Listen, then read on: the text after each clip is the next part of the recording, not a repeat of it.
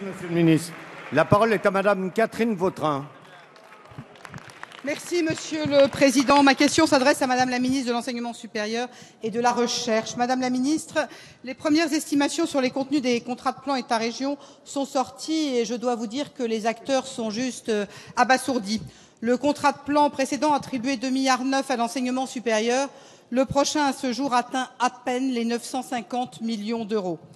Est-ce là l'illustration de l'engagement du président de la République en faveur de la jeunesse et de l'éducation. Le président disait vouloir être jugé sur l'état de la jeunesse à la fin de son mandat. Force est de constater qu'à mi-mandat, les étudiants sont déjà abandonnés. D'ailleurs, le dernier exemple, c'est celui de la suppression de la bourse au mérite, outil symbolique en faveur de l'excellence, de l'ascension sociale, dont vous aviez annoncé brutalement la suppression, avant, heureusement, de vous faire rattraper par le Conseil d'État. Alors, ce contrat de plan brise les différentes dynamiques engagées, aussi bien territoriales que pédagogiques.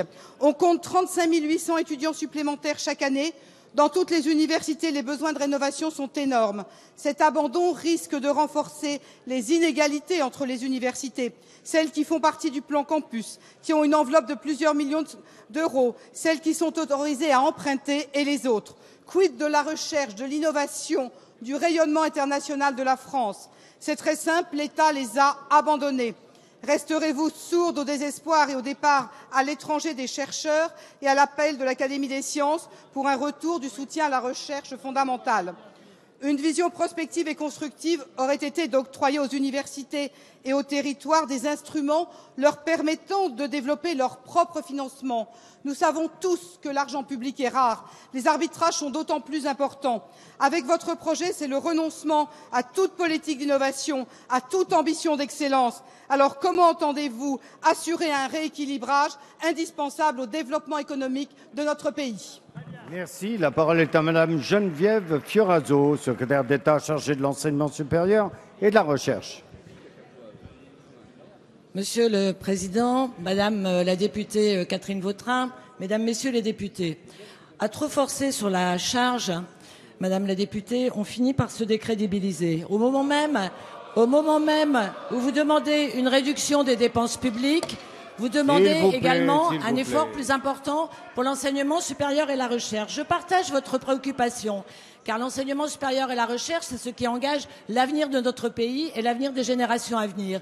Néanmoins, ce budget fait, fait partie des rares budgets qui ont augmenté de plus de 600 millions d'euros en deux ans. Qu'a été notre choix sur ces 600 millions d'euros? Il a été pour 458 millions d'euros de budgétiser d'abord correctement ce que vous n'avez pas fait, le dixième mois de bourse pour les étudiants. Ensuite, de permettre à 135 000 étudiants qui étaient à un niveau zéro. Niveau zéro, ça voulait dire zéro euro. Maintenant, ils ont 1000 euros. Ils sont 135 000 en bénéficier. Nous avons aussi, c'est la classe moyenne que vous défendez, que nous défendons. Nous avons aussi permis à 35 000 étudiants de bénéficier de 15% d'augmentation de leur bourse. Alors oui, nous avions l'intention de supprimer la bourse au mérite parce qu'elle ne servait pas d'effet levier pour accueillir davantage d'étudiants issus des classes les plus modestes.